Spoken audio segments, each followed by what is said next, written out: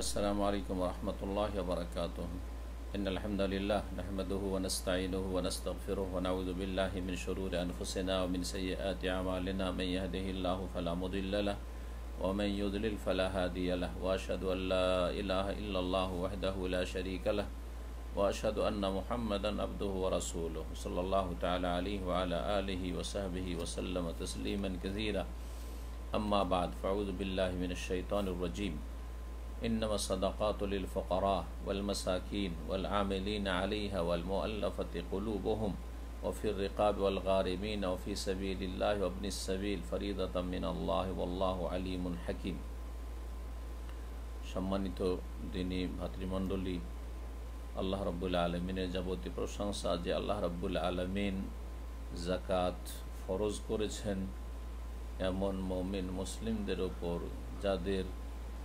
জাকাতের নিসাব বা জাকাত দেওয়ার সর্বনিম্ন যোগ্যতা রয়েছে। সালাতিম নাজিল হুকিন মোহাম্মদ রসুল্লাহ সাল্লাহ আলী সাল্লামের ওপর যিনি জাকাত আদায় করেছেন এবং তাকে আল্লাহ রব্বুল আলম জাকাত মমিনদের কাছ থেকে গ্রহণ করার, আদায় করার নির্দেশ প্রদান করেছেন। যে আল্লাহ রাবুল আলম জাকাত ফরজ করেছেন, তিনি স্বয়ং জাকাত বন্টন করে দিয়েছেন। সুতরাং যেইভাবে আল্লাহ ফরজ করে, সেইভাবে আদায় করতে হবে। আর যেইভাবে আল্লাহ বন্টন করে দিয়েছেন, সেইভাবেই বন্টন করতে হবে। তাতে কোনো মানুষের হস্তক্ষেপের কোনো অধিকার নেই। আজকে পনেরো রমজান চোদ্দোশো একচল্লিশ হিজড়ি মোতাবেক আটই মে দুই হাজার বিশ, জুমাবারে আমাদের আলোচনা ধারাবাহিক যে এই রমজানে চলে আসছে তা হচ্ছে শেখ ইমাম ইবিন ওসাইম রহমতুল্লাহ আলের কিতাব মাজালিস ও শাহরে রমদান থেকে। আজকে মজলিস নম্বর সতেরো। তিনি বলছেন, আল মজলিস সাবে আশার সতেরো নম্বর মজলিস ফি আহলি জাকাত জাকাতের হকদারদের ক্ষেত্রে কারা জাকাত নেওয়ার যোগ্য? তাদের সম্পর্কে আলোচনা। তারপরে শেখ ইবিন সাইম রহমতুল্লাহ আলী আল্লাহ রব্বুল্লা আলমিনের হামদুসানার পরে এবং রসুল্লাহ সাল্লাহ সাল্লামের ওপর সাল্লাতুসাল্লামের পরে কোরআন করিমের সুরায় তবর আয়াত নম্বর ষাট, যাতে আল্লাহ রব্বুল্লা আলম জাকাতকে ভাগ করে দিয়েছেন আট শ্রেণির মাঝে। সেই আয়াত উল্লেখ করেছেন। কাল আল্লাহ তালা মহান আল্লাহ ইরশাদ করেন, ইন্নামা সাদাকাতুল ফকারাই ওয়াল মাসাকিন ওয়াল আমিলিন আলিহা ওয়াল মুআল্লাফাতি কুলুবহুম আলায়া আয়াতের সংক্ষিপ্ত তর্জমা করে বিস্তারিত যেহেতু শেখ আলোচনা করেছেন, পুরো দাস এ বিষয়ই চলবে। সুতরাং আয়াতের সাথে সাথে আমি বিস্তারিত আলোচনা করব না, শুধু অনুবাদটি করে দেব।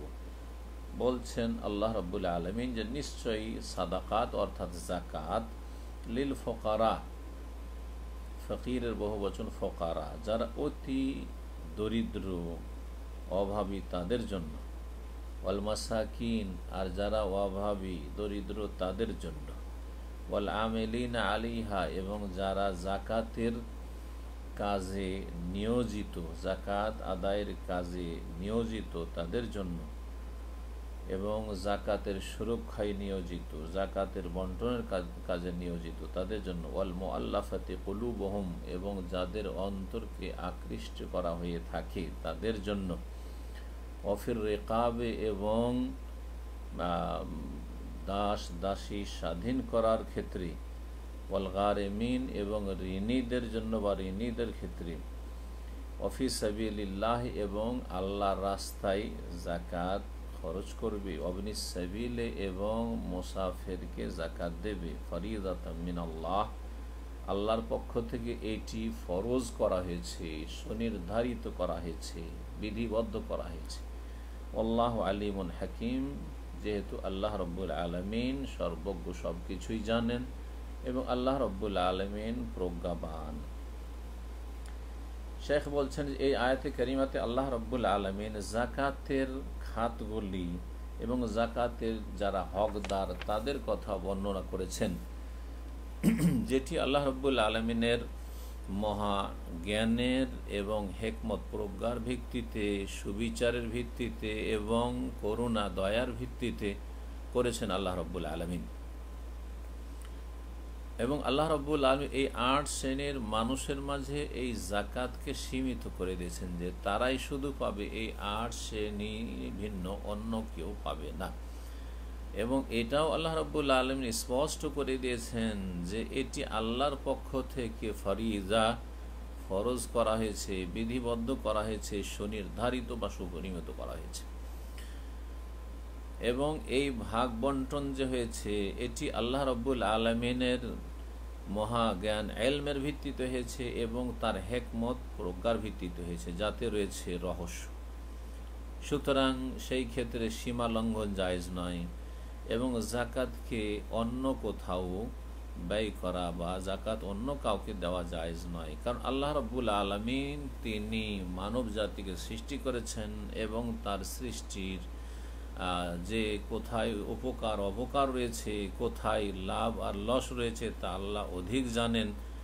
সুতরাং আল্লাহ রব্বুল আলম যেখানে যেটা রাখতে হয় সেটা বেশি জানেন আর তাই তিনি জাকাতকে আট ক্ষেত্রে ভাগ বন্টন করে দিয়েছেন। অমান আহসান আল্লাহ হকমাল্লি কৌমি ইউ কেনুন বিশ্বাসী জাতির জন্য আল্লাহ রব্বুল আলমিনের চাইতে আর বেশি কার বিচার সুন্দর হইতে পারে। প্রথম আল্লাহ রব্বুল আন বর্ণনা করছেন, এখন বিস্তারিত আলোচনা করছি এই আয়াতটির, যে আয়াতে আট ভাগে ভাগ করা হয়েছে জাকাতকে যাতে সমস্ত মাসাইলগুলি ইনশা আল্লাহ তালা আমরা জানতে পারব। বলছেন শেখ ফাসিনফুল আউ্য়াল ওয়াসানি প্রথম প্রকার এবং দ্বিতীয় প্রকার। দুটো যেহেতু কাছাকাছি সেই জন্য দুটোকে শেখুল হুসাইমি রহমতুল্লাহ একসাথে বর্ণনা করছেন কি, ইন্নামা সাদাকাতলিল ফকারাই ওয়াল মাসাকিন। নিশ্চয় সাদাকা জাকাত এখানে সাদাকা বলতে জাকাত বোঝানো হয়েছে যে সাদাকা আমরা নিজেদের ভাষায় নফল দান খায়রাতকে বলি, কিন্তু কোরআনের ভাষায় নফল দান খায়রাতও সাদাকা বলা হয়েছে, আবার ফরজকে বলা হয়েছে। এখানে ফরজ জাকাতের মূলত ভাগ বন্টন করা হয়েছে।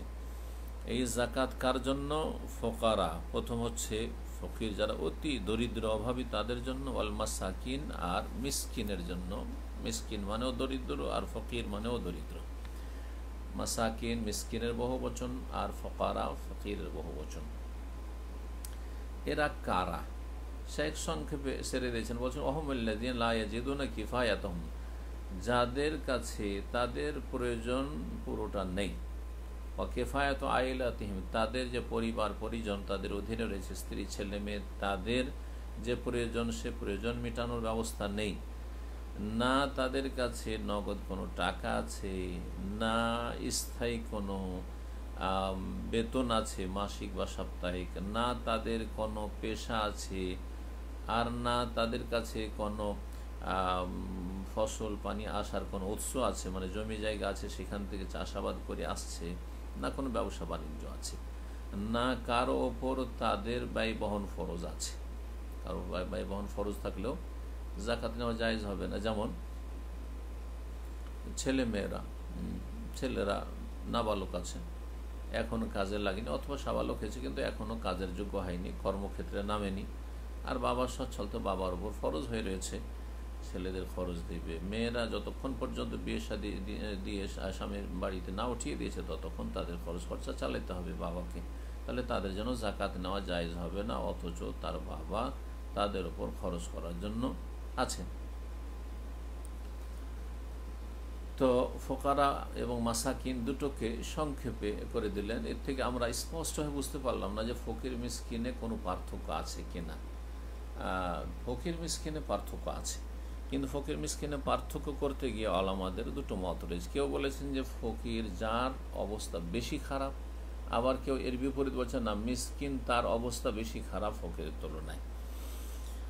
কিন্তু এমাম শাফি রহমাহুল্লাহ আর অন্যান্য আরও অনেকেই যারা ফোকাহুল হাদিস, তারা বলেছেন যে ফকিরের অবস্থা বেশি শোচনীয়, আর মিসকিন ফকিরের তুলনায় একটু ভালো অবস্থায়।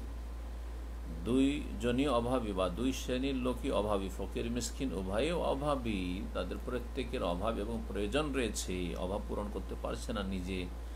কিন্তু ফকির একেবারে যার কিছুই নেই বা নেই বললেই চলে। আর মিসকিন যার আছে, কিছু আছে কিন্তু যথেষ্ট নয়। আছে যথেষ্ট নয়। তাহলে একজনের সকালবেলা যে খাবে, রাত হয়েছে, সকালবেলা যে খাবে, সকালের খাবার ব্যবস্থা নেই, দুপুর ব্যবস্থা নেই। অর্ধেকও নেই তাদের কাছে। জি। ফকির। আর যার কাছে অর্ধেক বা তার বেশি আছে, কিন্তু পূর্ণটা নেই। সকাল দুপুর খেতে পারবে, কিন্তু রাত্রে কি খাবে, কি খাওয়াবে ছেলে মেয়েকে তার ব্যবস্থা নেই। এছাড়া অন্যান্য উদাহরণ দেওয়া যেতে পারে। একজন মানুষের কাছে আপনার খাওয়া দাওয়ার ব্যবস্থা হয়তো আছে, কিন্তু চিকিৎসার ব্যবস্থা নেই, বস্ত্রের ব্যবস্থা নেই বাড়িটা তৈরি করতে পারছে না। তাহলে তারা ফকিরও নয় খাওয়া দাওয়া চলে যাচ্ছে সংসার, যা ইনকাম সোর্স আছে তা দিয়ে। কিন্তু যেহেতু অন্যান্য প্রয়োজনগুলি যেগুলি জরুরি, সেগুলি মিটছে না, তাহলে মিসকিন। কিন্তু জরুরি প্রয়োজন না হয়ে যদি সাধারণ প্রয়োজন, এটা দামি মোবাইল নিতে হবে। আজকাল হচ্ছে মানুষের ভোগ বিলাসের জীবন, দামি একটি স্মার্টফোন নেবে। কিন্তু পয়সা নেই। বেতন টেতন দিয়ে সব প্রয়োজন মিটে যাচ্ছে। কিন্তু একটা স্মার্ট দামি ফোন নিতে পারছে না। বলব, মিসকিন না মিসকিন না মিসকিন না। এটি হচ্ছে মানব জীবনে তিনটি স্তর রয়েছে। একটা হচ্ছে জরুরিয়াত, একেবারে জরুরি। না হইলে চলবেই না, যেটা আবশ্যক। সেইটা জরুরিয়াত যদি না থাকে, তো একেবারে ফকির। হাজিয়াত কিছু প্রয়োজন আছে, সে প্রয়োজনগুলি মিটছে না। কিন্তু সেগুলি না হইলেও চলে যাবে সময়। জি। না খেয়ে বেঁচে থাকা যাবে না। না পান করে বেঁচে থাকা যাবে না। বাড়ি ছাড়া মাস করা যাবে না। বস্ত্র ছাড়া থাকা যাবে না। চিকিৎসা ছাড়া থাকা যাবে না। এগুলো হচ্ছে জরুরিয়াত। কিন্তু আরও কিছু প্রয়োজন রয়েছে অতিরিক্ত যেগুলো প্রয়োজন আসলে তো সেই প্রয়োজনগুলির জন্য অভাব। তাহলে মিসকিন বলা যেতে পারে। মিসকিন বলা যেতে পারে সেখানে। কিন্তু তারপরে হাজিয়াত যেটা। আর তারপর একটা হচ্ছে কামালিয়াত, পূর্ণতা, জীবনে পূর্ণতা, পূর্ণ ভোগ বিলাসের জন্য। জি গরম লাগছে তো বাসায় এসি লাগাবো। তারপরে বাসাতে, সবার বাসাতে ফ্রিজ আছে ওয়াশিং মেশিন আছে, আমার প্রয়োজন না। এগুলি হচ্ছে কামালিয়াত, পূর্ণতা, এগুলির জন্য জাকাত নেওয়া যায় নয়। জি।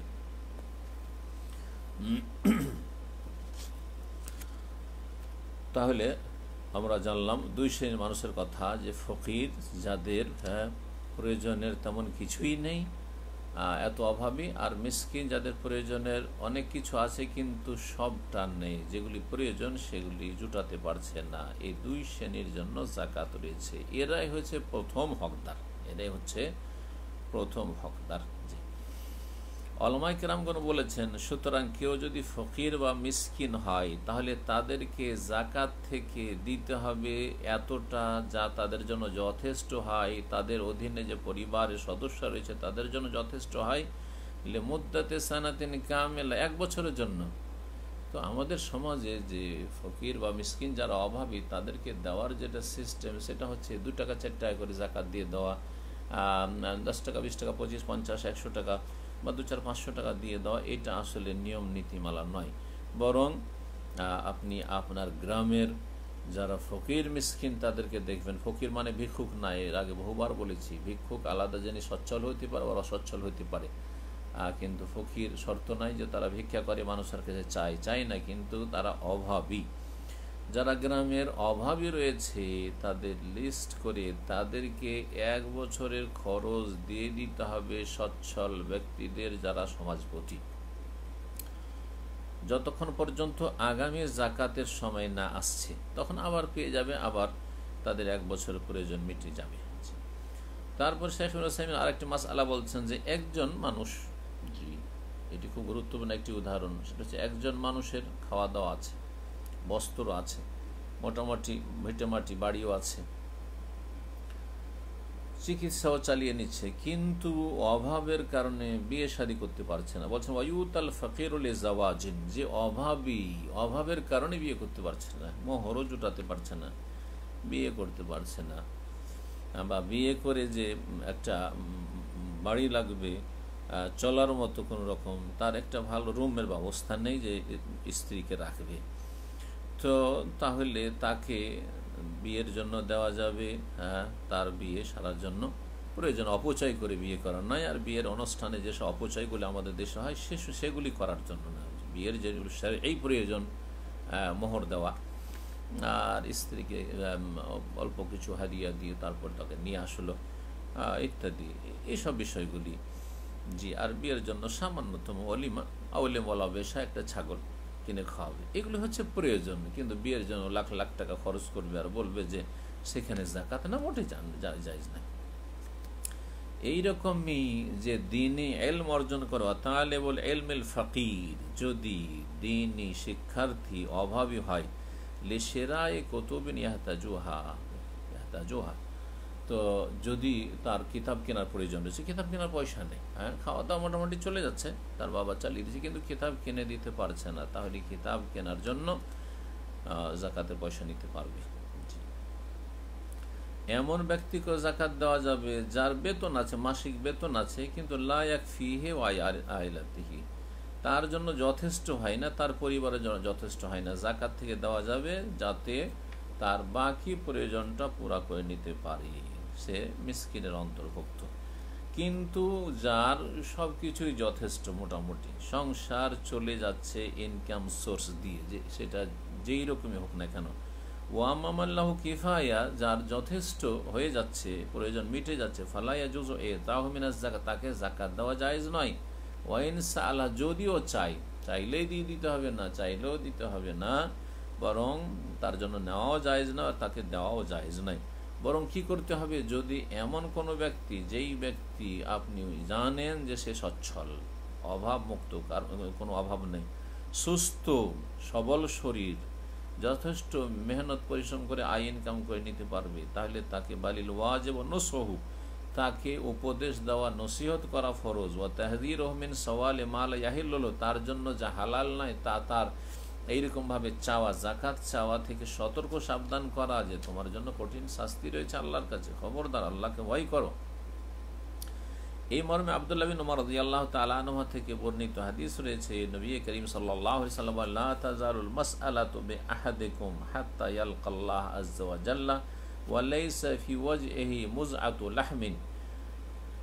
এক শ্রেণির মানুষ তোমাদের মধ্যে রয়েছে, যারা চাইতে থাকবে জাকাত ফিতরা, চাইতে থাকবে এমন কি আল্লাহর সাথে সাক্ষাৎ করবে এমন অবস্থায় তাদের প্রয়োজন ছিল না। তারপরে যেহেতু চেয়েছিল সাদকা, ফিতরা, সেই জন্য বা জাকাত তাদের মুখমণ্ডলে গোস্তের টুকরো থাকবে না। সুফহানুল্লাহ মুখমণ্ডল থেকে গোস্ত খসে পড়ে যাবে, বৃষ্টি লাগবে। সুফহানুল্লাহ রহুল বখারি হাদিস। সহি বখারি। এইরকম আবহার রদি আল্লাহ তালান থেকে বর্ণিত হাদিস রয়েছে, নবী করিম সাল্লাহ সাল্লাম মানসা আল্লাহ আমু আল্লাহ তাকাস্তরান কেউ যদি মানুষের কাছে তাদের ধন সম্পদ চায়, ভিক্ষা করে, সে ভিক্ষুক বা জাকাত চাইছে হ্যাঁ সাদকা ফিতরা চাইছে কিসের জন্য? তাকাস্তরান ধন সম্পদ বৃদ্ধি করার জন্য, প্রয়োজন মেটানোর জন্য নয়, অভাবী নয়, কিন্তু আরও বেশি বড় লোক হতে চাই ধন সম্পদ বাড়ানোর জন্য। ব্যবসা বিজনেস বাড়ানোর জন্য, বেশি আরও সুখের জীবনের জন্য। ফাইন্নামা ইয়াস আলো জামরান, তাহলে সেই ব্যক্তি, সে আগুন, আগুনের টুকরো যেন সে চাইছে। ফালিয়াস্তা ফালিয়াস্তাকিল্লা আউলিয়াস্তাকসের সে হয় আগুনের এই টুকরো কম নিক অথবা বেশি নিক। মানে বেশি যদি এরকম চায়, তাহলে বেশি আগুনের টুকরো নিল সে। আর সে যদি কম চায় তো কম আগুনের টুকরো নিল। আর কেউ পছন্দ করবে না যে আমি আগুনের টুকরো সুতরাং এইরকম প্রয়োজন নেই। হ্যাঁ এমন প্রয়োজন যে প্রয়োজন পুরা করতে হবে এরকম জরুরি বিষয় নয়। আর চেয়ে বাড়াচ্ছে অথবা মানুষের কাছে জাকাতের জন্য দরখাস্ত করেছে, জায়জ নাই। হাকিম বিন হেজাম রাজি আল্লাহ তালান থেকে বর্ণিত তিনি আরও বলছেন, নবী করিম সাল্লাহ সাল্লাম তাকে একবার বলেছিলেন। তিনি কোনো এক সময় চেয়েছিলেন তখন তাকে আল হলুয়াতুন এই ধন সম্পদ হচ্ছে বড়ই সবুজ, দেখতে খুব চমৎকার। হলুয়াতুন আর বড়ই মিষ্টি, পয়সার স্বাদ, সবাই বুঝে, ছোট ছোট বাচ্চাও পয়সার স্বাদ বুঝে, লাফিয়ে এসে পয়সা নেই, জেদ করে পয়সা নেওয়ার জন্য। ফানা, ফামান আখাদা বেসাখাওয়াতে নফসিন বুরে কাফি কেউ যদি নিজের অন্তরের উদারতার সাথে, দানশীলতার সাথে গ্রহণ করে, তাহলে তার বরকত দেওয়া হবে। অমান আখাজ ইশরাফে নাফসিন, আর কেউ যদি লোভী হয়ে তার নেই, পয়সার অত্যন্ত লোভ। লাম ইউবারিক লাহু ফিহি, আল্লাহ তাতে বরকত দেবেন না, বা লাম ইউবারক লাহু ফিহে, তাতে বরকত দেওয়া হবে না। ওয়াকানাকাল্লাজি একল ওয়ালে আসবা সেই ব্যক্তির উদাহরণ হচ্ছে, ওই ব্যক্তির মতো যে খায় কিন্তু পরিতৃপ্ত হয় না। খায় কিন্তু খাই খাই মিটে না। ওয়ালিয়াদুল ওলিয়া খৈরমি আলিয়াদি সুফলা, ওপরের হাত নিচের হাতের তুলনায় উৎকৃষ্ট। ওপরের হাত বলতে দানশীল হাত যে দান করে, সে উত্তম, আর যে দান নেই, সে অনুত্তম। জি। প্রয়োজন না থাকলে আপনি অনুত্তম হতে যাবেন না। হাদিস এমাম বুখারি বা মুসলিম বর্ণনা করেছেন। এরকম আব্দুর রহমান বিন আফরাজ আল্লাহ তালাহতে বর্ণিত হাদিস রয়েছে, নবী করিম সাল্লাহ সাল্লাম লাফতাহ আবদুন বাবা মাস আল্লাহ ইল্লা ফাতাহ আল্লাহ আলী বাবা ফকরি। কোনো বান্দা যদি ভিক্ষার রাস্তা খুলে দেয় নিজের জন্য মানে চাওয়া বদ অভ্যাস হয়ে যায় তাহলে আল্লাহ তার সামনে দারিদ্রের রাস্তা খুলে দিবেন। অভাবে দরজা খুলে দিবেন। যখনই সে ভিক্ষার রাস্তা মানুষের কাছে দ্বারস্থ হওয়ার দরজা খুলে দিবে, তখনই আল্লাহ তার সামনে দারিদ্র, অভাব আর গরিবীর দরজা খুলে দেবেন। ইমাম আহমদ রাহেমহল্লা হাদিসটি বর্ণনা করেছেন এবং এইরকম তিনি মিজিও বর্ণনা করেছেন এবং তিনি বলেছেন হাদিসুন হাসানুল সাহি কোনো ব্যক্তি যদি জাকাত চায় কারও কাছে, আর সেই ব্যক্তিকে দেখে মনে হচ্ছে যে না, সে সে তো সচ্ছল বা সুস্থ সবল, এ কেন জাকাত চাইছে? আর অজ্ঞাত পরিচয় ব্যক্তি জানাও নেই যে সে অভাবী কি অভাবী নয়, সন্দেহপূর্ণ, একে দেওয়া যাবে কি, যাবে না। তাহলে তাকে দেওয়া তো জায়েজ রয়েছে, কিন্তু তাকে জ্ঞাত করে দিতে হবে, সতর্ক সাবধান করে তো জানিয়ে দিতে হবে, যেমন নবী সাল্লাহ সাল্লাম জানিয়ে দিয়েছেন। কি? যে আন্নাহুল্লাহ হাজারফিহা লেগানি ইন ওয়ালালি কবির এখানে কোনো অভাবমুক্ত ব্যক্তির, সচ্ছল ব্যক্তির কোনো অংশ নেই। এবং যেই ব্যক্তি ওয়ালালি কবির মুক্তাসিব, যেই ব্যক্তি শারীরিকভাবে শক্তিশালী, মজবুত এবং সেই ব্যক্তি উপার্জন করতে সক্ষম, তার জন্য এতে কোনো অংশ নেই। কারণ নবী করিম সাল্লা সাল্লামের কাছে জনৈক দুইজন ব্যক্তি একবার আসে। আসার পরে রসুল উল্লাহ সাল্লামের কাছে তারা যাচ্ছা করে, কিছু চায়। ফাকাল্লা বাসার তখন রসুল উল্লাহ সাল্লাম তাদের মাথা থেকে তাদের পা পর্যন্ত একটু দৃষ্টি মোবারক ফিরিয়ে তাকালেন। যারে এত সুঠাম আর সুস্থ ব্যক্তি, জোয়ান ব্যক্তি, এরা, আর এরা আবার জাকাত চাইছে হ্যাঁ? ফারাহমা জাল্লাদান দেখলেন যে এরা বড় দুইজন সুঠাম আর বড় শক্তিশালী বাহাদুর মানুষ। ফাঁকালা তারপরে তাদেরকে যেহেতু চিনতেন না ব্যক্তিগতভাবে যে তারা আসলে অভাবী কিনা, তাদের প্রয়োজন আছে কি নাই, হতে পারে প্রয়োজন। বলেন ইনশো তোমা আতাই তোমা তোমরা যদি চাও তো তোমাদেরকে আমি দিয়ে দেবো জাকাত থেকে। ওয়ালা হাজা ফিহা লেগানিন ওয়ালা লে কবির মুক্তাসিব তবে জেনে রাখো যে এই জাকাতে কোনো সচ্ছল ব্যক্তির অংশ নেই এবং যেই ব্যক্তি সুস্থ, সবল, উপার্জন করতে সক্ষম, তার জন্য কোনো অংশ নেই। রহ আহমদ আবুদাউদ নাসাই এমা আহমদ আবুদাউদ এবং নাসাই বর্ণনা করেছেন হাদিসটি। জি। এবং ইমাম আহমদ বলেন যে হাদিসটি কতই না সুন্দর। তৃতীয় শ্রেণির মানুষ যাদেরকে জাকাত দেওয়া যাবে তারা হচ্ছে ওয়াল আমেলিনা আলিহা। জি, ওয়াল আমেলিনা আলিহা মানে যারা জাকাতের কাজে নিয়োজিত। জাকাতের কাজে নিয়োজিত মানে কি? শেখ ইসলাম রহমতুল্লাহ বলছেন ওহমুল্লাজিয়ান ইউনাসেব ওহম ওলাতুল ওমুর ইলি জেবায়ত জাকাত মিন আহলিহা ও হেফজেহা ও তশরিফেহা এমন ব্যক্তিরা যাদেরকে মুসলিম সরকার, যারা দেশের দায়িত্বশীল, তারা জাকাত আদায় করার জন্য নিযুক্ত করেছে অথবা হেফজেহা জাকাতের পাহারা দেওয়ার জন্য, সুরক্ষার জন্য নিযুক্ত করেছে সিকিউরিটি গার্ড হিসাবে অতসিফা অথবা জাকাত বিতরণের জন্য নিযুক্ত করেছে। জি, এই তিনটি দিক তাহলে। হয় জাকাত আদায় করে তারা, অথবা জাকাতের সুরক্ষা রক্ষণাবেক্ষণ করে। অথবা জাকাতের বিতরণ করে।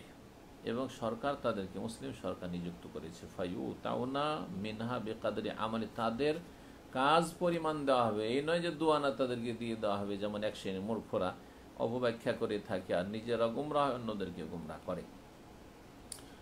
তাদেরকে তাদের কাজ অনুযায়ী কত ঘণ্টা ডিউটি করছে, আর এত ঘণ্টার সাধারণত এইরকম শ্রেণির মানুষের কত টাকা বেতন স্যালারি হইতে পারে অন্য জায়গায় কাজ করলে ওই হিসাবে দেবেন। জি। যদিও তারা সচ্ছল হয়, বাড়িতে সচ্ছল, কিন্তু যেহেতু এই কাজগুলি তারা করছে ফুল টাইম দিয়ে, তাহলে তারা সচ্ছল হলেও তাদেরকে দেওয়া হবেই।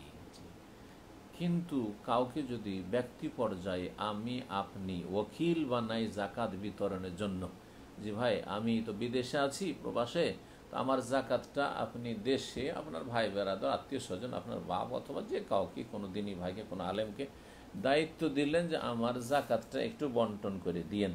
তখন সেখানে সে ভাগ বসিয়ে দিল যে আমি তো আমিলিনা আলেহের অন্তর্ভুক্ত। বলছেন, না, শেখ বলছেন, স্পষ্ট তার ভাষায় বলি ও আম্মাল ওকালা লেফারদি মিনান নাসিফি তৌজিয়া জাকাতি ফালেইসু মিনাল আমিনী আলিহা যারা ওকিল মানে যাদেরকে কোনো দায়িত্ব ন্যস্ত করা হয়েছে, লেফারদি মিনান নাস, কোনো ব্যক্তির পক্ষ থেকে ফি তৌজিয়া জাকাতি তার জাকাতগুলি বিতরণ করার জন্য, ফালাইসু মিনাল আমিনীন আলিহা তারা এই জাকাতের কর্মচারীর অন্তর্ভুক্ত নয়।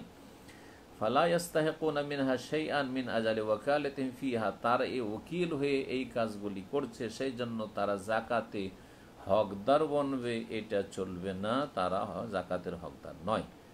তবে তারা, তাদের জন্য একটা বড় নেকি রয়েছে, কারণ নেক কাজে সহযোগিতা করছে এবং তারাও যেন এই জাকাত যে দিল জাকাত দাতা মূল ধন সম্পদের মালিক, সে যেমন সব পাবে জাকাত দিয়ে, এই ব্যক্তি জাকাত বিতরণ করে, তার মতোই সব পাবে। এই মর্মে হাদিস রয়েছে বলছেন লাকিন ইন তাবার রৌফি তফরিক আলা আহলিহা বিয়ামান ওয়াজতিহাদিন কানু সুরাকা ফি আজরিহা তবে সেই জাকাত বিতরণে যোগ্য ব্যক্তি যারা জাকাত খাওয়ার যোগ্য জাকাতের হকদার তাদের মাঝে বিতরণ যদি করে আমানতের সাথে আর মেহনতের সাথে তাহলে নেকিতে তারা শরিক হবে যেমন সহি বখারি হাদিস রয়েছে আবু মুসাশারি রাজি আল্লাহ তালানো থেকে নবী করিম সাল্লাহ সাল্লাম বলছেন আল খাজেনুল মুসলিমুল আমিন যেই ব্যক্তি মুসলিম আমানতদার ক্যাশিয়ার হবে, খাজেন, জি।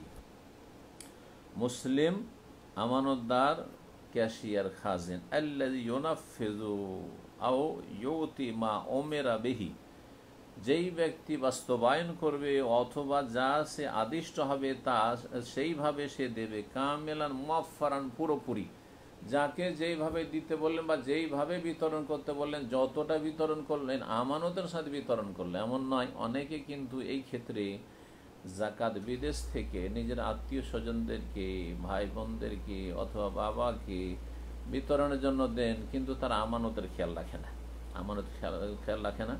অল্প কিছু দিয়ে বাকিটা খেয়ে ফেলে। তাদের ইমানের দুর্বলতার কারণে। সুতরাং আপনি যাকে জাকাত বিতরণের জন্য দেবেন, সেই ব্যক্তি যে মোত্তাকি, পরেজগার আল্লাহ ভিরু এই ক্ষেত্রে মোটামুটি আপনাকে নিশ্চিত হইতে হবে যে তার মধ্যে আমানত আছে। তার মধ্যে পয়সার লোভ নেই যে সে খেয়ানত করবে, এরকম আশঙ্কা যেন না থাকে। তাই বলছেন, কামেলান মফারান পূর্ণভাবে যদি আদায় করে, যেইভাবে তাকে দায়িত্ব দেওয়া হয়েছে এই ক্যাশিয়ারকে তাইয়েবান বেহা নফসহু স্বতঃস্ফূর্তভাবে আল্লাহর সন্তুষ্টির জন্য ফয়াদ ফাহু এলাল্লাজি আমারা বেহি, যাকে দিতে বলেছে বা যারাকে দিতে বলেছে তাদেরকে যদি দেয়, এই জাকাত আহাদুল মোতাসাদ্দেকেন, সেও একজন সাদকা জাকাত প্রদানকারী।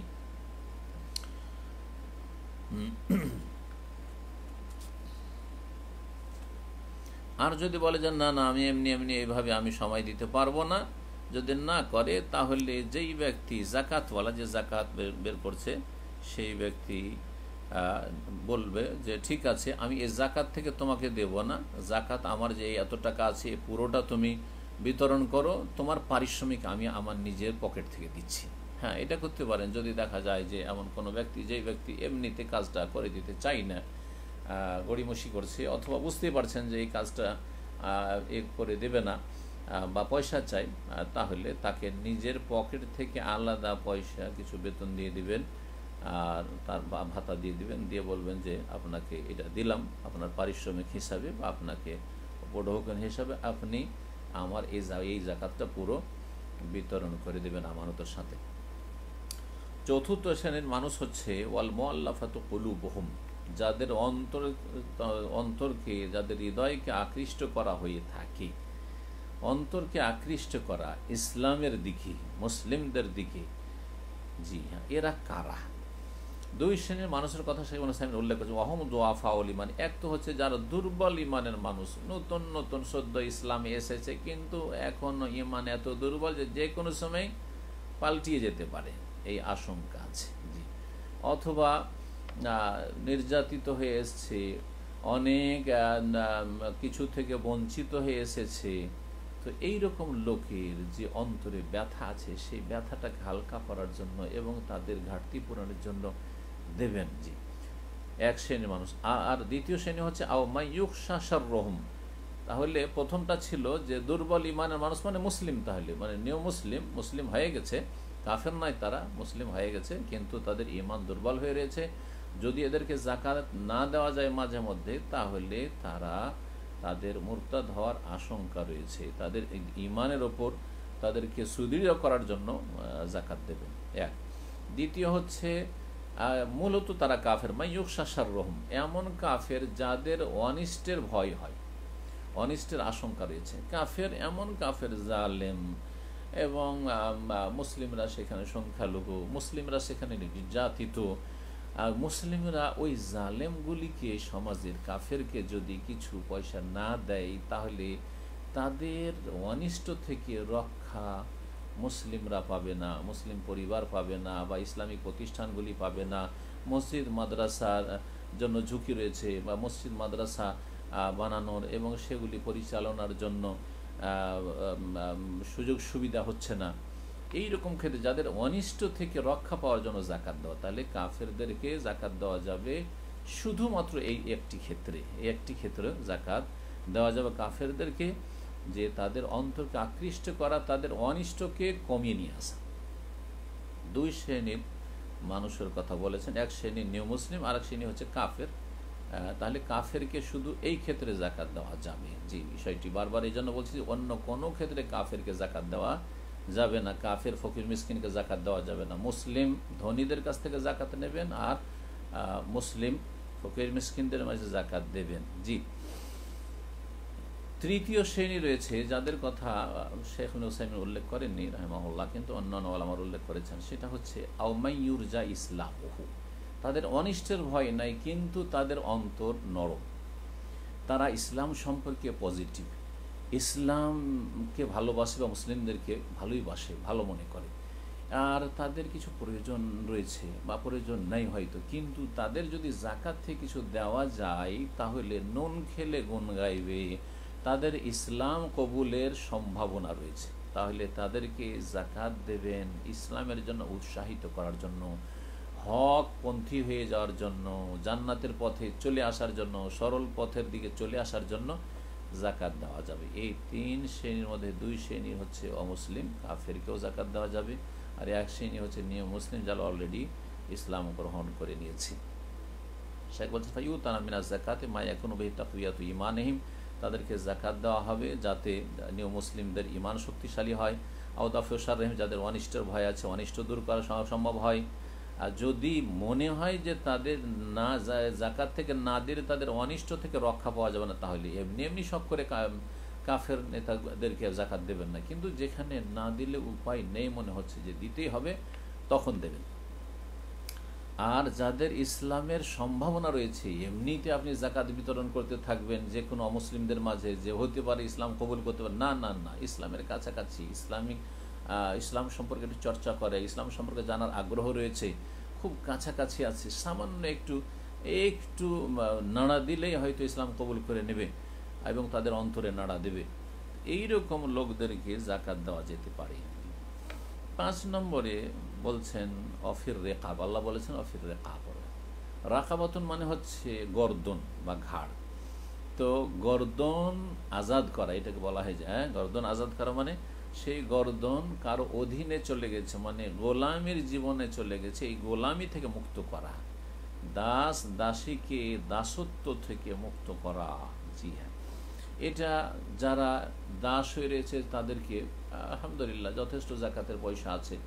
তো তাদের থেকে একটা অংশ দিয়ে আমি দাসদেরকে কেনে কেনে স্বাধীন করে দেবো, যাতে স্বাধীনভাবে আল্লাহ রব্বুল আলম এবাদবন্দি করতে পারে। এসব মুসলিম দাসরা সময় দিতে পারছে না এলেম শেখার জন্য, আমল করার জন্য তাদের মনিবের কাজে সবসময় ব্যস্ত থাকার কারণে। তো আপনি বড় উপকার করলেন, যেমন আবাকার সিদ্দিক রাজি আল্লাহ তালান এরকম অনেক সাহাবাই কারামগণ বহু দাস দাসীকে কেনে স্বাধীন করে আল্লাহ সন্তুষ্টির জন্য।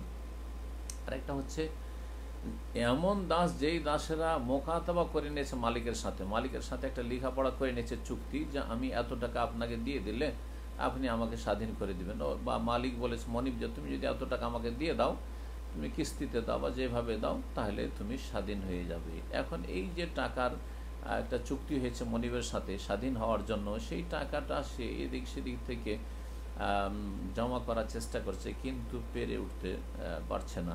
তাহলে তাকে দাসমুক্ত হওয়ার জন্য সহযোগিতা করা যাবে।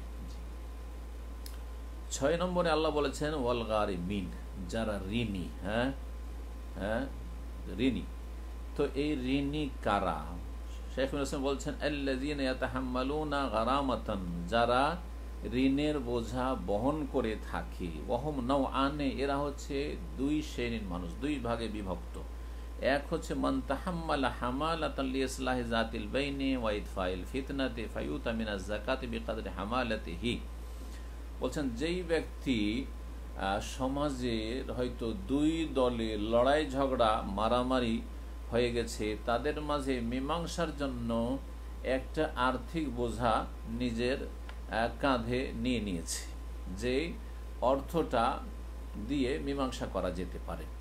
অথবা আপোষে ঝগড়া, বিবাদ, ফিতনা এই মানুষ জড়িয়ে গেছে। এই ফিতনাকে ঠান্ডা করার জন্য কোনো একটা অ্যামাউন্টের সে দায়িত্ব নিজের কাঁধে নিয়ে নিয়েছে। তাকে জাকাতের এতটা পরিমাণ দেওয়া যাবে যতটা সে কাঁধে বহন করেছে। জি। কারণ এর মাধ্যমে সে সমাজের সম্পর্ককে ভালো করার চেষ্টা করেছে এবং এই যে বোঝা নিয়েছে, সে বোঝাটা সে নিজের কোন ব্যক্তির স্বার্থে নেয়নি, আল্লাহ সন্তুষ্টের জন্য নিয়েছে। তো এই ক্ষেত্রে সে তাকে জাকাত দেওয়া যাবে, তাকে জাকাত দেওয়া যাবে। এই মর্মে হাদিস রয়েছে কবি সারদি আল্লাহ তালানকে বললে তিনি বলছেন তাহাম্মাল তো হামালাতান আমি এই রকমই একটা বোঝা উঠিয়ে নিয়েছিলাম কারও। এছাড়াও আরেকটি উদাহরণ দেওয়া যেতে পারে আমাদের যেমন করে, একজন মানুষ আরেকজন মানুষের কাছে টাকা পাবে, টাকাটা দিচ্ছে না, তখন ওকে ধরে নিয়েছে। আর ধরে নিয়ে বলছে, অতক্ষণ ছাড়বো না, যতক্ষণ পর্যন্ত টাকা না দিবে, অথবা জামানত। টাকা তো দিতে পারছেন হয়তো অভাবই রয়েছে।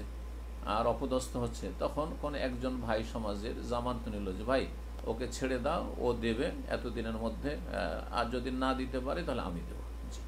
এখন সে আর দিতে পারছে না। এখন এ দায়িত্ব নিয়েছে যে, আমি দেব, আমার দায়িত্ব। তাহলে এই যে বোঝাটা কাঁধে বহন করেছে, এই ক্ষেত্রেও জাকাত দিয়ে এই ঋণটা পরিশোধ করতে পারে এবং সে জামানত মুক্ত হইতে পারে আর ওই ঋণীকে মুক্ত করতে পারে।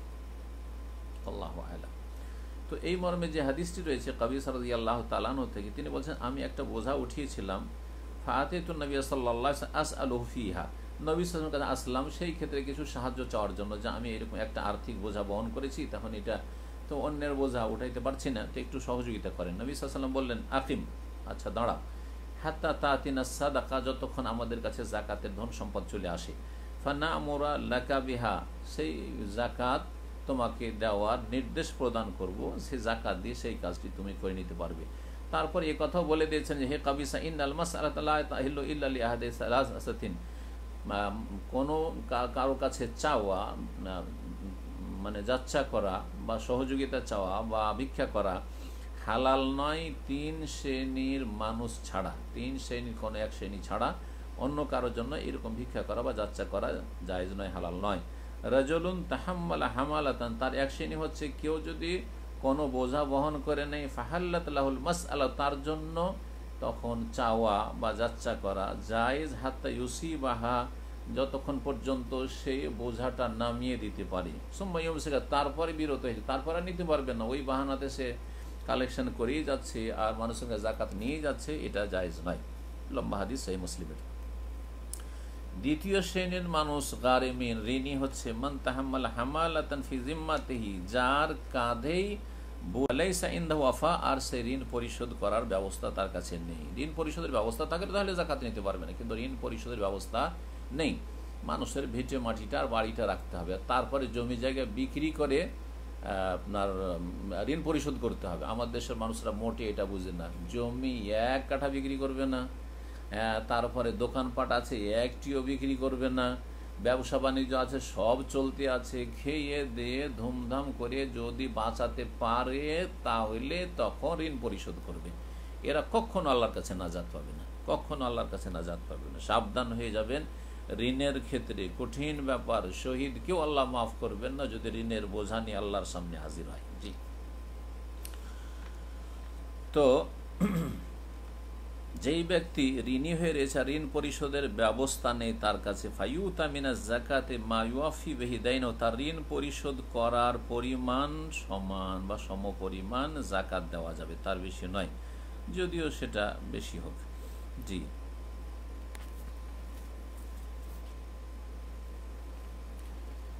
আর একটা হতে পারে, সেটা হচ্ছে যে, সেই ব্যক্তিকে দিলেন, যেই ব্যক্তি ঋণী হয়ে রয়েছে, অথবা তাকে বললেন যে কে তোমার কাছে টাকা পাবে, যে টাকা পাবে তাকে দিয়ে দিলেন, একে আর দিলেন না। তোমার কাছে টাকা পাবে কে? বলছে, অমুক টাকা পাবে। কত টাকা? বলছে, এক লাখ টাকা পাবে। ঠিক আছে, এক লাখ টাকা আমি অমুককে দিয়ে দিচ্ছি ওকে ডেকে বলে যে তুমি অমুকের কাছে টাকা পাবে, সে তোমাকে দিতে পারছে না, অভাবী হয়ে গেছে, সুতরাং আমি তোমাকে দিয়ে দিলাম জাকাত থেকে। এটাও করা যেত। শেখ হোসেন রহমতুল্লাহ আলাই এই কথাই বলছেন, জি।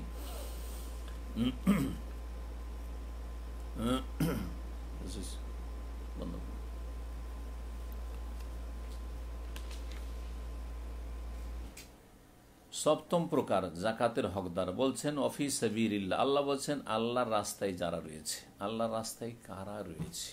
জি, এই বিষয়ে দুটো মত রয়েছে।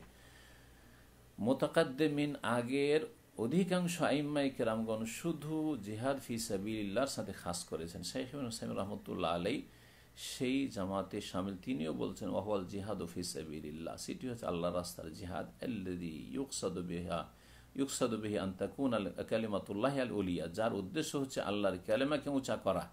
সেটা কোনো জাতীয়তার জন্য নয়, আর কোনো দলীয় কাজের জন্য নয়, আর সেটা কোনো পার্থিব স্বার্থে নয়, কোনো পার্থিব স্বার্থে নয়। ফাইউত আল মুজাহিদু বিহাদিনিয়া এই উদ্দেশ্যে মুজাহিদকে দেওয়া যাবে যেটা তার জেহাদ করার জন্য যথেষ্ট হয় জাকাত থেকে জাকাত থেকে। তবে দ্বিতীয় শ্রেণির অলামারা রয়েছেন যেটা জানা অত্যন্ত জরুরি, সেটা হচ্ছে যে অন্য অন্য যে জেহাদের দিক রয়েছে হ্যাঁ কলমের জেহাদ, কথার জেহাদ, জি হ্যাঁ আপনার দাওয়াতি জেহাদ, জি, দাওয়াতের ময়দান, এই মর্মে। তো এই ক্ষেত্রে পরবর্তীকালে আলমাইক রামগণ এবং সৌদি আরবের প্রসিদ্ধ আলেম শেখ ইবনে বাদ রহমতুল্লাহ আলের সিনিয়র ছাত্র ছিলেন এবং বড় শেখ হেয়াদুকে বারগমা ছিলেন। যিনি শেখ ইবনে জবরিন রহমতুল্লাহ আলাই। এছাড়াও মজমাউল ফিখির ফতোয়া রয়েছে এই ক্ষেত্রে যে জাকাত দেওয়া যাবে দাওয়ার কাজে এবং ইসলামের প্রচার প্রসারের কাজে এবং ইসলামের এই রকমই যেখানে ইসলামের প্রচার প্রসার যে কোনোভাবে হয়, ইসলামের যে দিনের কোরআন সন্ন্যার জ্ঞানের প্রচার প্রসার হচ্ছে। দিনই প্রতিষ্ঠানগুলিতে সেগুলিতেও জাকাত প্রয়োজনে দেওয়া যাবে যদি মুসলিম সরকার সেই দায়িত্বগুলি বহন না করে। এই ছিল সাত নম্বর। আর আট নম্বরে বলছেন অবনিসাবিল। আল্লাহ রবির কি বলেছেন? ইবনুসাবিল। রাস্তার সন্তান কে? বলছেন অহল মুসাফির। সে হচ্ছে মুসাফির বিদেশে এসেছিল। আল্লাজি ইন কাতাবেহি সাফারো, সফরে তার যে সম্বল ছিল পাথেও তা শেষ হয়ে গেছে। ওয়া নাফাদা মাফিয়া দেহি একটি পয়সা তার কাছে নেই যে বাড়ি ফিরতে পারবে। ফাইউতামিনা জাকাতে মায়ুস এলহু এলা বালাদিহি, এতটা জাকাত তাকে দেওয়া যাবে যা দিয়ে সে বাড়িতে পৌঁছে যেতে পারে বা বাড়িতে তাকে পৌঁছে দেওয়া যেতে পারে। যদিও বাড়িতে সে সচ্ছল, দেশে হয়তো সে সচ্ছল ব্যক্তি পৌঁছে দেওয়া যাবে। অথবা তাকে ঋণ দেওয়ার মতো লোক আছে, তো ঋণগ্রস্ত না হয়ে তাকে জাকাত থেকে প্রয়োজন দেওয়া যাবে শেখ বলছেন। জি। কিন্তু যদি দেখা যায় যে আজকাল, আলহামদুলিল্লাহ, যোগাযোগ ব্যবস্থা সুন্দর টাকা পয়সা দেশ থেকে নিয়ে এসে যাওয়া সহজ, সেই ক্ষেত্রে জাকাত এইভাবে এত সহজে দেওয়া যাবে না। তাহলে এমন মুসাফিরকে জাকাত দেবেন যে, মুসাফির এমন জায়গা আছে যে দেশ থেকে টাকা সেখানে নিয়ে আসাও ঝুঁকিপূর্ণ। অথবা প্রশ্নের সম্মুখীন হবে, অথবা নিয়ে আসতে পারবে না, ইত্যাদি। সুতরাং সেখানে জাকাতের টাকা নিয়ে সে নিজের বাড়িতে পৌঁছিতে পারবে। তারপরে কয়েকটি মাস আল্লাহ এখন আট প্রকারের কথা হয়ে গেল। কয়েকটি গুরুত্বপূর্ণ মাস আল্লাহ শেখ হোসেন রহমতুল্লাহ আলাই আলোচনা করেছেন, যেগুলি আমাদের প্রত্যেকের জানা জরুরি। শেখ বলছেন ওয়ালাতুদ্ভাউ জাকাতুল কাফেরিন কাফেরকে জাকাত দেওয়া যাবে না। কথাটি যখন মোয়াল্লাফেত কলুব চার নম্বর যখন পয়েন্টটি আলোচনা করেছিলাম, তখন আমি কিন্তু ইঙ্গিত করেছি যে জাকাত কাফেরকে দেওয়া যাবে না। ইল্লা ইয়াকুনা মিনাল মোয়াল্লাফাতে কলুম তবে অন্তর আকৃষ্ট করা যদি উদ্দেশ্য থাকে। শুধুমাত্র অন্তর আকৃষ্ট করা যদি উদ্দেশ্য থাকে, সেটা হচ্ছে দুই শ্রেণির কাফের। এক হচ্ছে যাদের অনিষ্ট কমানো উদ্দেশ্য, অনিষ্ট থেকে রক্ষা পাওয়া মুসলিমদের অথবা মাইয়ুরজা ইসলাম হো ইসলামের খুব কাছাকাছি চলে এসছে, একটু কিছু জাকাত থেকে যদি তাদেরকে দিই, তাহলে ইসলাম গ্রহণ করে নেবে। এছাড়া অমুসলিম, দরিদ্র, মিসকিন, অভাবী, ঋণী, তাদের ঋণ পরিশোধ করবেন, অথবা বিদেশে এসছে, মুসাফির মুসলিম আর যেতে পারছে না। যেমন এক ভাই জিজ্ঞেস করছিলেন এর পূর্বে কয়েকদিন আগে যে লকডাউনে ফেসে গেছে, এখন যেতে পারছে না, তাকে বাড়ি পর্যন্ত পাঠানোর জন্য দেওয়া যাবে? না, দেওয়া যাবে না। একমাত্র মোয়াল্লাফাতে উলুপ অন্তর যাদের আকৃষ্ট করার উদ্দেশ্য, দুই শ্রেণির কথা বললাম, তাদের ছাড়া কোনো কাফেরকে জাকাত দেওয়া যাবে না। জাকাত নেবে তু খাজমেন আগ্নিয়াহি ফাতুরাদ্দু আলা ফোকারাহিম রসুল্লাহ সাল্লাহ সাল্লাম আজমিন জাবালকে যখন ওসিয়ত করে পাঠিয়েছিলেন, উপদেশ দিয়ে জাকাতের ক্ষেত্রে আর অন্যান্য বিধান যে বলেছিলেন ইয়ামান দেশে যখন পাঠাচ্ছিলেন তখন বলেছিলেন যে, ধনীদের কাছ থেকে মুসলিম, মিন আগ্নিয়ায় মুসলিম বিত্তবান ধনীদের কাছ থেকে জাকাত নেবে, ফাতুরাদ্দু আলা ফোকার আর মুসলিম ফকির ও অভাবীদের মাঝে বিতরণ করবে। তাহলে এখানে এই কথাটি স্পষ্ট করে দেওয়া হয়েছে। তারপরে বলছেন যে ওয়ালাতুদ ফাউলে গানি ইন আনহা, বেমা ইয়াকফিহে মিন তিজারাতিন আও সানাতিন আও হেরফাতিন আও রাতেবিন। জি এলাখেরি বলছেন, এমন কোনো সচ্ছল ব্যক্তিকে জাকাত দেওয়া জায়েজ নয়। যার ব্যবসা আছে, ব্যবসা দিয়ে সংসার চলে যাচ্ছে, অথবা তার একটা পেশা আছে ভালো টেলারিং করে, তা দিয়ে চলে যাচ্ছে, হাতের কাজ জানে টেকনিশিয়ান আউরা তিবেন অথবা মাসিক একটা বেতন আসছে, তা দিয়ে সংসার চলে যাচ্ছে, অথবা তার জমি জায়গা থেকে ফসল পানি উঠে আসছে, অথবা আও নাফাকাতিন ওয়াজে বাতিন অথবা তার খরচ খরচা কারও ওপর ফরজ হয়ে আছে? সে আদায় করবে। আপনি কেন জাকাত দেবেন তাকে? তাহলে কোনো বাবার ছেলে বাবার হোটেলে থাকে আর বাবার হোটেলে সে পড়াশোনা করে ইউনিভার্সিটিতে। এখন সেই ছেলের তো ব্যক্তি ইনকাম নেই, তাই বলে সমাজ থেকে জাকাত নেবেন না। তার বাবা যদি সচ্ছল হয় আর তার ছেলের খরচ চালাতে পারে চালাচ্ছে, তাহলে না, মোটেই জাকাত দেওয়া যাবে না, কারণ তার খরচ অন্যের ওপর ফরজ হয়ে রয়েছে। তবে ইল্লা এখন মিনাল আমেলিনা আলিহা জি। তবে যদি জাকাতের কর্মচারী হয়, অথবা মুজাহিদ ফিসাবিল্লা হয়, অথবা আবিল গারিমিন আলী ইসলাহ জাতিল বাইন, অথবা সমাজের মীমাংসার জন্য যদি কারও দায়িত্ব বহন করে নিয়ে থাকে, তাহলে সচ্ছল হলেও বা এই যে শ্রেণীগুলি বলা হয় যাদের জন্য জাকাত নেওয়া জায়জ নয় জাকাত নিতে পারবে। তারপরে বলছেন ওয়ালাতুদফা জাকাত ফিসকাত ওয়াজেবিন সেওয়াহা। জি। আপনার আমার ওপর কোন একটি দায়িত্ব ফরজ হয়ে রয়েছে। সেই ফরজ আদায় করার জন্য সেখানে জাকাতের ব্যবহার জায়জ নয়। যেমন উদাহরণস্বরূপ বলছেন যে, আমার আপনার বাসাতে অতিথি এসেছে। এই তাদের আতিথ্যের জন্য হয়তো দুশো রিয়াল খরচ হবে। এখন দুশো রিয়াল খরচ করব আর এদেরকে খাওয়াবো। অতিথি মানে আত্মীয় স্বজন নয়। আমাদের দেশের অতিথি হচ্ছে আত্মীয় স্বজন আর না হলো কুটুম্ব। ছেলের বিয়ে দিয়েছেন, মেয়ের বিয়ে দিয়েছেন, সেই জন্য তাদের খাওয়াচ্ছেন। না না না, অতিথি মানে যে কোনো মুসলিম ভাই বোন এসেছে, বাইরে থেকে এসেছে, তাদেরকে খাওয়াইতে হবে। এটা কমপক্ষে তিন দিন খাওয়াইতে হবে। কমপক্ষে তিন দিন খাওয়াইতে হবে। এই তিন দিনের খরচ খরচ আপনি জাকাত থেকে আপনি কেটে নিচ্ছেন জায়জ নয়। কারণ আপনার এটা ফরজ অজেব যে আপনি তাদেরকে খাওয়াবেন, আতিথ্য করবেন। জি। মানে কানা ইয়মিন বিল্লাহ ইয়মিল আখে দাইফা, যে আল্লাহ পরকাল ইমান রাখছে যেন অতিথির সম্মান করে। এইরকমই জাকাত এমন কাউকে দেওয়া যাবে না যাদের ব্যয় বহন করা ফরজ। জি, যাদের খরচ কারও ওপর ফরজ হয়ে আছে, তাকে জাকাত দেওয়া যাবে না। সুতরাং স্ত্রীকে জাকাত দেওয়া যাবে না এমন আত্মীয়কে জাকাত দেওয়া যাবে না যে আত্মীয়র দায় দায়িত্ব আমার ফরজ রয়েছে। ছোট ভাই বোন, ছোট ভাই রয়েছে তাহলে তার খরচ আমার ফরজ হয়ে রয়েছে, তাহলে তাকে জাকাত দেওয়া যাবে না। যে বড় হয়ে গেছে, সংসার হয়ে গেছে, তখন তার দায়িত্ব আমার নেই।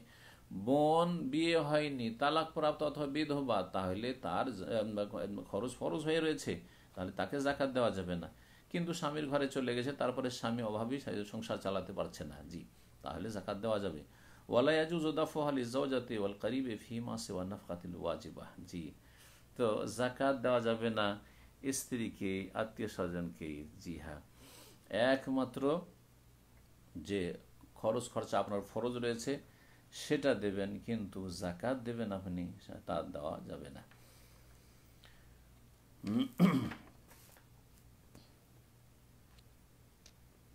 তারপরে বলছেন যে হ্যাঁ স্ত্রী অথবা আত্মীয়র ওপর যদি যে তাদের খরচ খরচা, আত্মীয় যে, নিকট আত্মীয়, যাদের খরচ খরচা ফরজ হয়েছে, খরচ খরচা তো দিতেই হবে আমাকে।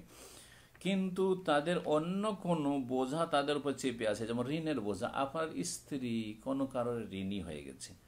অথবা আপনার আত্মীয় কেউ ঋণী হয়ে গেছে, যাদের খরচ ফরজ ছিল কিন্তু ঋণী হয়েছে, ঋণের বোঝা চেপে গেছে। বলছেন ফায়াজুজ আইয়াকজি আবেহা আন জৌজাতিহিলা তাস্তেতি অফাহা সেই ঋণটা কিন্তু স্বামীর স্বার্থে হয়নি, স্বামীর পরিবারের স্বার্থে হয়নি। তার অন্য কোনো কারণে ঋণ ছিল। তাহলে তার স্ত্রীর পক্ষ থেকে ঋণ পরিশোধ করতে পারবে।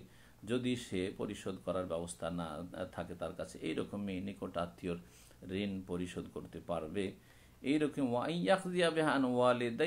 আও আহাদিমিন আকারে বিহি বাপ মাকে জাকাত দিতে পারবে না, কিন, দাদা দাদিকে জাকাত দিতে পারবে না, কিন্তু তারা যদি ঋণী হয়ে থাকে তাদের কারণে, ছেলের কারণে নয়, তাহলে তাদেরকে জাকাত দিতে পারবে যদি তারা সেই ঋণ পরিশোধ করতে সক্ষম না হয়।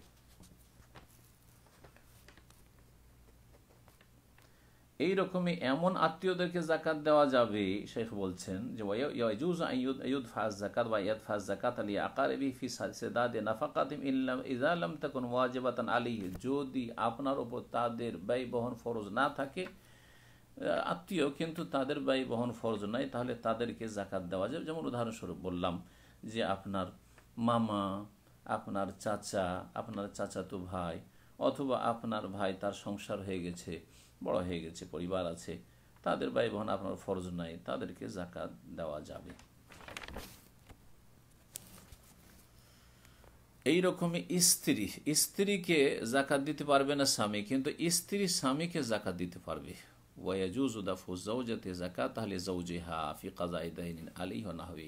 প্রয়োজন মেটানোর জন্য অথবা ঋণ পরিশোধের জন্য স্বামীকে জাকাত দিতে পারবে স্ত্রী, স্বামীকে। কারণ স্ত্রীর ওপর স্বামীর ব্যয় বহন ফরজ নয় বা স্ত্রীর দায় দায়িত্ব নেই যে স্বামীর যে সব প্রয়োজন রয়েছে সেসব প্রয়োজন মেটাবে তার ব্যক্তিগত টাকা পয়সা দিয়ে।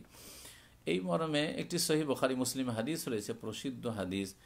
জাইনাব সাকাফিয়া রাজি আল্লাহ তালা আনহা থেকে যিনি আবদুল্লাহ মসুদ রাজি আল্লাহ তালা আনহর স্ত্রী ছিলেন। নবী করিম সাল্লাহ আলি সাল্লাম একবার নারীদেরকে সাদকা করতে বললেন। ফাসা আল্লাতিন নবী সাল্লাহ আলি সাল্লাম। তখন এই জাইনাব রাজি আল্লাহ নবী সাল্লাহ আলি সাল্লামের বাড়ি এসে জিজ্ঞাসা করেছিলেন যে, ইয়া রসুল আল্লাহ হে আল্লাহ রসুল, ইন্নাকে আমার তবে সাদাকা আপনি আমাকে সাদকা করতে বলেছেন জাকাত দিতে বলেছেন। ওয়াকানা ইন্দি হুলি, আর আমার কাছে কিছু অলঙ্কার রয়েছে। ফারাদ তো আনা তা সাদ্দাকা বেহি। সেই অলঙ্কারগুলি আমি দান করতে চাই। ফাজামা ইবিন মসুদ তখন আমার স্বামী ইবিন মসুদ বলছেন, আন্নাহু ওয়ালাদুহু আহাক্ক মান্তাসাদ্দাক্তু বেহি আলিহিম আমি এই অলঙ্কারগুলি সাদকা করতে চাইছি। তা আমার স্বামী আবদুল মসুদ বলছেন যে, আমি আর আমার যে ছেলেরা রয়েছে অন্য স্ত্রী থেকে ছেলেরা ছিল, সেই ছেলেরা বেশি হকদার। কারণ আমরা অভাবিত। আমাদেরকে না দিয়ে তুমি দূরে কাউকে সাদকা করবে, এটা কেমন কথা? তো আমি কি আমার স্বামীকে তার যে অন্য স্ত্রী থেকে ছেলে, মেয়েরা রয়েছে, তাদের খরচ খরচা চালানোর জন্য আমি এই অলঙ্কারটি সাদকা করতে পারব? নবী করিম সাল্লা সাল্লাম বললেন, সাদাকা ইবিন মাসুদ চৌজুকে তোমার স্বামী ইবিন মাসুদ সত্য বলেছেন ওয়ালাদুকে আহাক্ক মান্তাসাদ্দাকতে বেহি আলিহিম আর যে তোমার সন্তানরা, তোমার স্বামীর যে সন্তানরা রয়েছে, তাদেরকে তোমার সাদকা করাটা বেশি হক রাখে এবং তোমার স্বামীকে তুমি সাদকা করতে পারো। অন্য ভাষায় অন্য রেবায়তে রয়েছে যে তুমি তোমার স্বামীকে তোমার সাদকা বা জাকাত দিতে পারো। নবী করিম সাল্লাহ আরও বলেছেন, আত্মীয়দেরকে সাদকা করলে বেশি সব রয়েছে। এই মর্মে আর সাদাকা তো আলাল ফকির, সাদাকা যদি কেউ কোনো অনাত্মীয় অভাবীকে জাকাত দেয় বা সাদকা করে, তাহলে একটি সাদাকা বা সাদাকার এক নেকি হইল। ওয়ালা জবির রাহেমে সাদাকাতুন ওয়াসেলাতুন আর আত্মীয় অভাবীকে যদি কেউ সাদাকা করে, আত্মীয় অভাবী হইতে আবার স্বজন প্রীতি না হয়, বা সেখানে আপনি দুর্বল না হয়ে যান, অভাবী নয়, তারপর আপনি জাকাত দিচ্ছেন, এমনটা না হয়। আত্মীয় যদি অভাবী হয়, তাহলে তাকে দান করলে সাদাকারও সব হইল আর সেলাতুন আর সেলাতুল আরহাম, আত্মীয়তার সুসম্পর্ক বহাল রাখারও সাদাকা বা সবাব নেকি আপনি হাসিল করতে পারলেন এমাম নাসাই, তিরমিজি, ইবিন খোজেমা হাকিম, হাদিস। বর্ণনা করেছেন।